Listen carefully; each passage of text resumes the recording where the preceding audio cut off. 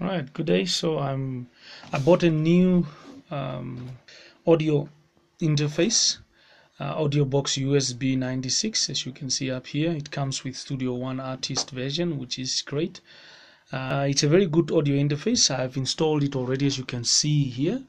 Uh, up and running. It has got Phantom power and uh, uh, you can use uh, different types of jacks the one for the condenser mic uh, for the mics uh, X, XLR and then the one the jack that you can use for so you it can take both. And uh, it has got quite good knobs. They feel very good and um, they are quite stable and the case is very good as well. Feels very it's like a metal sort of I think and then at the back here it has got um, MIDI USB uh, ports as well. And then I've got my speakers up here and then my headphones plugged plugged in here. And then this is my USB cable. So um, I was struggling yesterday as I was trying to install it to play on my computer. And the problem was that my computer as you can see here is a USB 3 speed. It says super speed and uh, the PreSonus runs on uh, a 2.0 speed. So if you if I if you plug it in straight into the computer here on the USB ports then it won't install correctly. But before you in, plug it in what you need to do is you need to download the software on your PC and then it first install the software even before you do anything else and then when you are done installing the software restart your computer. And then after restarting your computer then inst- uh, plug the the the USB device in. So there are two different ports. Then this one uses USB 2 speed and then this one uses USB 3 speed. The USB is up here.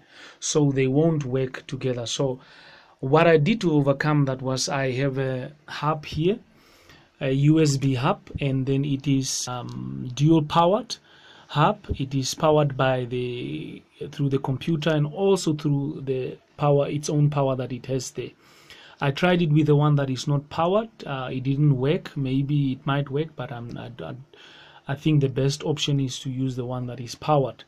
And then when I plugged it in here, and then brought it into my USB on through my computer, then it worked. I, I connected my door DAW, and then I could be able to record and pick up my PreSonus audio device. So if you are having a problem connecting your audio device, maybe check that the USB port is not uh, 3.0 super speed, but that uh, it is 2.0 and uh, then you are good to go and then you basically remember that first install the software uh, without plugging in. Do not plug in. Install the software when you are done. Restart the computer. You can download the software at PreSonus at the PreSonus website and then restart your computer uh, after installing your software. And then when you are done make sure that your USB ports are 2.0 and not 3.0 super speed. And then if you if you if yours are 3.0 like mine then you need to get a USB hub. That is uh, 2.0 and then um, you plug that in and then through that indirectly you plug it plug it in. There are no delays latencies or whatever. Everything just works fine. So thank you very much. I hope this was very helpful